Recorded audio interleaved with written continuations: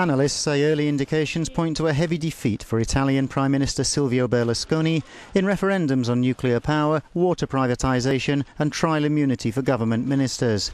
The opposition initiated the polls which proposed to overturn legislation passed by the government. The turnout of around 57% is more than the 50% required to validate the result. As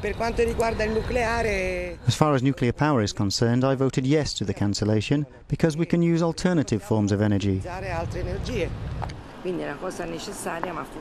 I think nuclear is necessary, but we're neither able to decide about it with a referendum nor capable of building a plant in a safe way.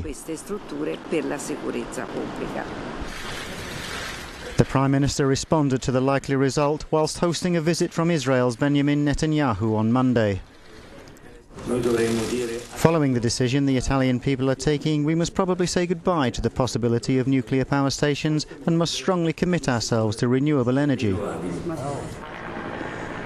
The defeat will be seen as another blow for Berlusconi after last month's disappointing results in local elections. The result could not have come at a worse time for him, still embroiled in a sex scandal and three fraud trials.